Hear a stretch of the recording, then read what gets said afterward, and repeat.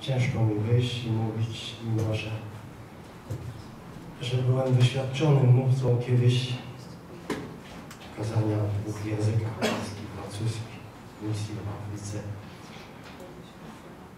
Dzisiaj poczułem, jak zdjęta została ze mnie jakby klątwa. Tak mógłbym to nazwać. Klątwa służby Kościele katolickim. Tak to odczułem. Pierwszy raz byłem tutaj tydzień temu.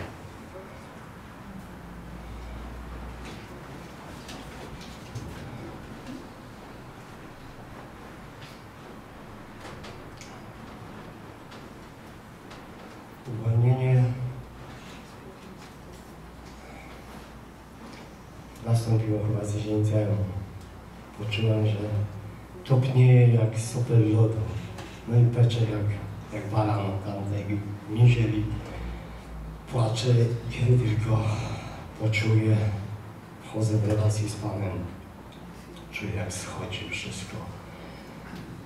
Dodałem tutaj resztkę sił, bo zaczęło się od słuchania kazania i wypowiedzi Tomka Dążały przez niby przypadkowo. A tak właściwie to zaczęło się inaczej. Może zacznę od początku. 16 lat służby w kościele, w klasztorze misjonarzy oblaci, Marii Niepokalanej. Dzisiaj ze mną mój syn, moja kobieta, żona, z którą żyję od 15 lat. On słyszy to pierwszy raz. Tym bardziej jest mi ciężko.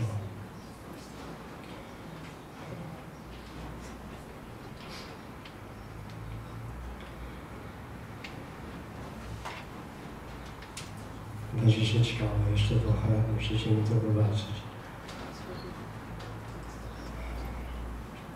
Czuję to jak uwolnienie, płacz i to, to rozrzewnienie, czuję, że to schodzi. I pozwalam temu, pozwoliłem temu. Tydzień temu, jak wszedłem tu pierwsze pięć minut, była walka, myślałem, że wyjdę, wyjdę, sekta i w ogóle przeszło tyle przez głowę, przez dwa tygodnie mocowania się przyjścia. Tomek powiedział, idź tam jak najszybciej, bo, bo widocznie to, co w Tobie jest, to, to się tak opiera i, i takie lęki w Tobie powoduje. Rzeczywiście tak, tak było i tak jest. Jestem szczęśliwy, że jestem dzisiaj z Wami. Może jeszcze raz zacznę od początku.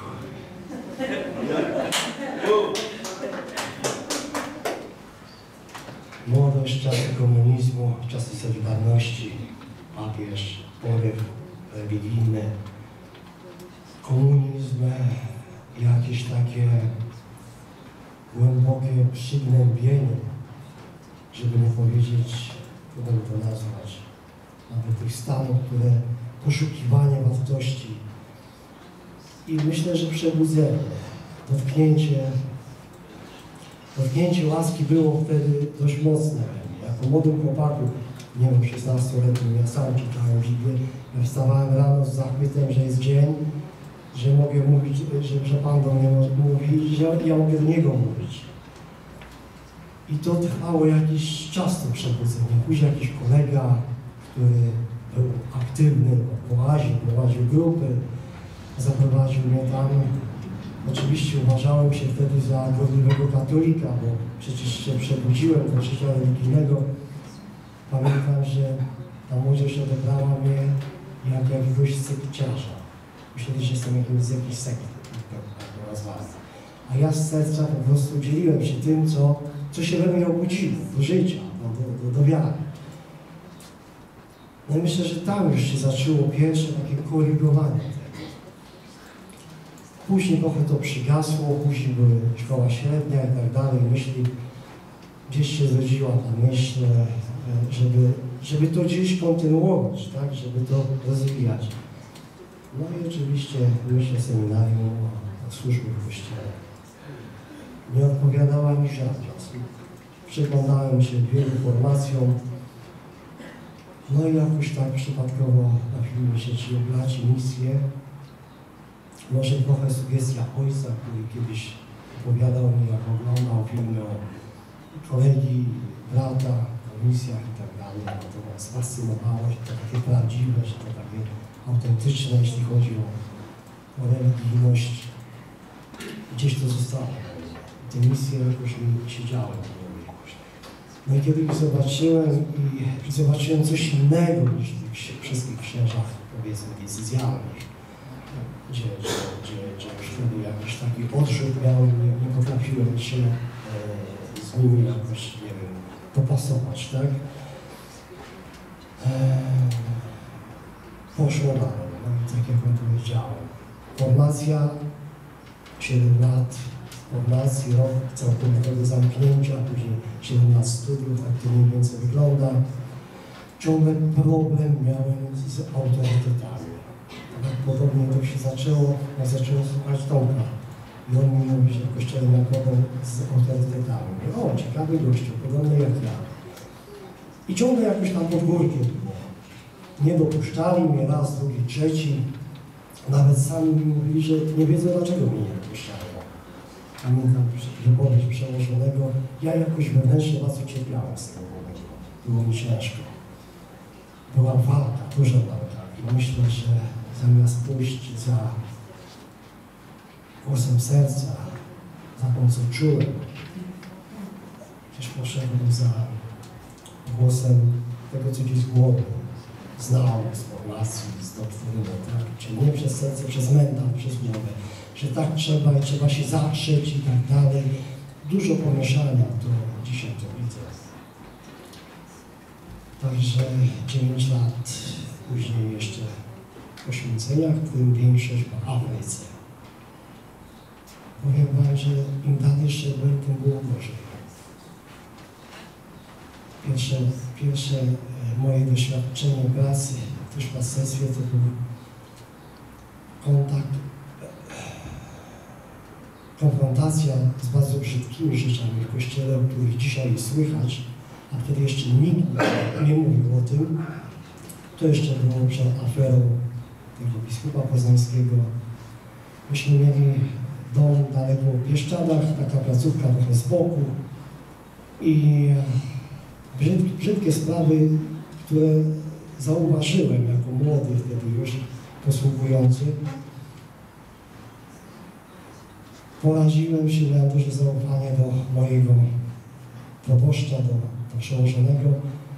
Do, dobry, poczciwy człowiek i teraz mi powiedział, co chodzi, że rzeczywiście on też widzi, że jest tu problem, bo zrobili nam w domu jakby taki prenobicjat dla chłopców, którzy mieli, nie zdali maturę, którzy mieli się przygotowywać dalej. Tam był jeden chłop, chłopiec, który prawdopodobnie był wykorzystywany. Molestowany, wykorzystywany.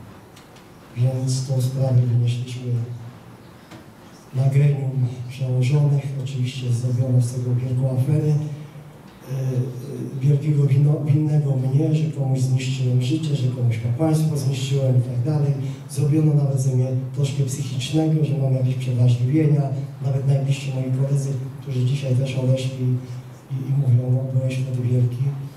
Ale też było ciężko i właściwie skończyło się na tym, że wezwałem kategorycznie przed majestat władzy Mój proboszcz mówi, jesteś młody, pojadę z tobą, bo cię depczą grzechy. Ja już to troszkę przeżyłem, mówi, to jak to jest. Pojechał ze mną, rzeczywiście próba była wdeptania w ziemię, autorytetem i tak dalej, ale dowody, ale to, ale tamto. Więc ja mówię, no opowiadam wam dowody, od pół roku proszę o kontakt z przełożonym, żeby sprawę ruszył, tak, żeby, żebyście coś z tego zrobili, że już wioska zaczyna o tym mówić i tak dalej. No, wychodzi gdzieś to na zewnątrz co, ale złapałeś kogoś za rękę, a ja mówię, aha, no to mam złapać, tak. No może jeszcze przybyć, tak, pokazać. No więc skończyło się tak, że rok wcześniej dostałem natychmiastowe wyniesienie. Właściwie to był taki jakby eksmisja na misję, gdzie ja chciałem jechać z sercem, naprawdę z z oddaniem. Eee, to poczułem to jak wysłanie jako karę Rok wcześniej proboszcza oczywiście zdymisjonowano, przeniesiono w jakiś e, dom emerytów, żeby mu zamknąć buzię i tak się sprawa wybała. Ta sprawa miała swoje dalsze finały, bo chłopak później trafił do seminarium. Rzeczywiście po czterech latach mieli taki problem, że, że z tego co wiem, to sprawa się o Rzymu opierała o generalnych i tak dalej i nie wiedzieli co z tym zrobić. Mnie już za to nikt nie przeprosił, wręcz przeciwnie.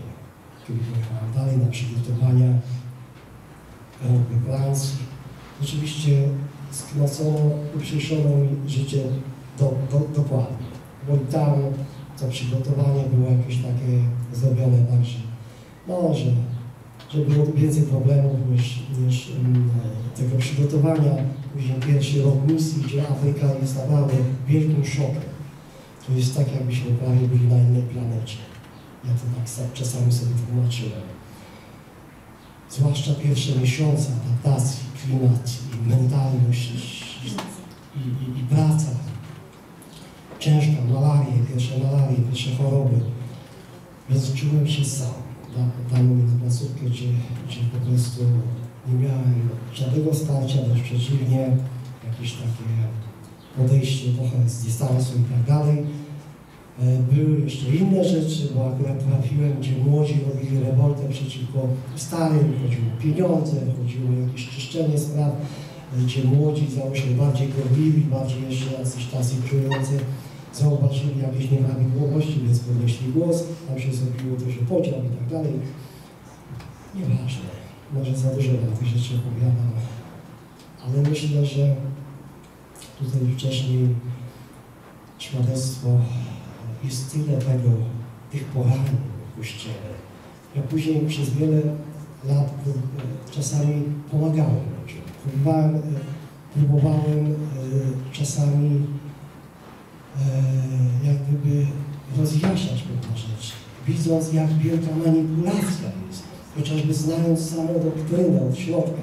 Pamiętam, że zawsze bijało mnie, stojąc gdzieś na ołtarzu i tak dalej, Jezusowe Słowo, i to wracało jak bumerang. Faryzeusze przeklęci. Ciężary na ludzi wkładacie nie do uniesienia, których sami palcem nie tykacie.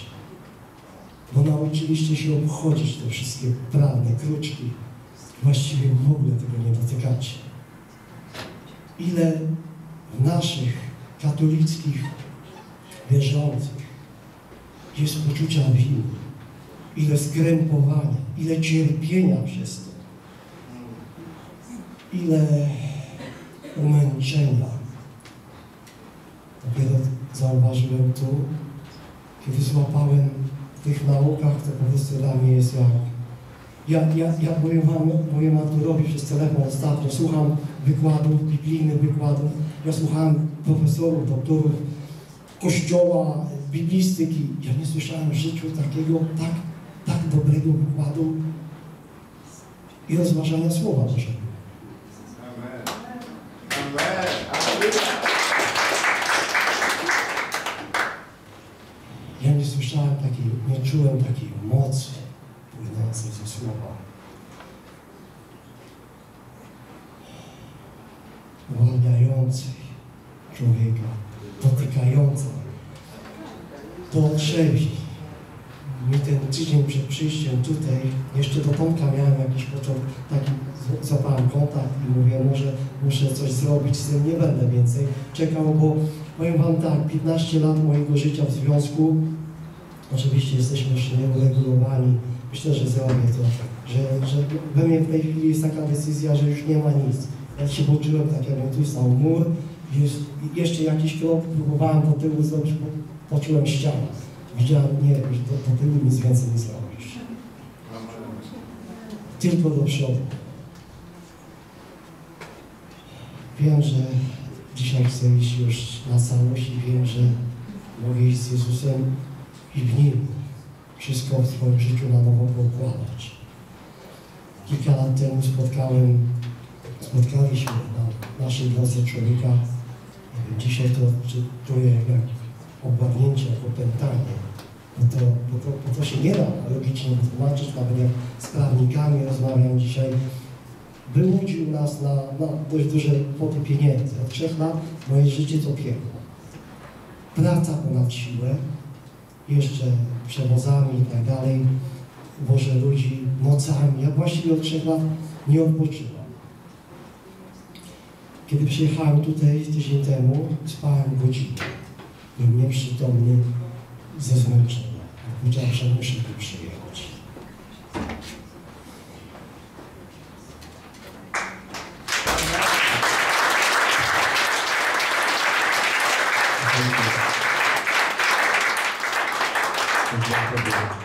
E, Nie miejcie żadnej litości dla religii. Ten kraj jest przepełniony ludźmi, którzy są w takim stanie. My zaczynamy mieć coraz więcej informacji od księży. Wczoraj pisał do mnie kolejny ksiądz.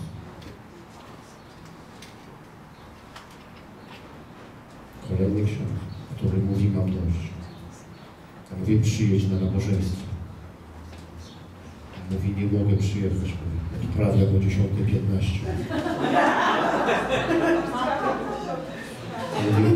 Mówi, mówi, ale mi się chce żygać na to wszystko.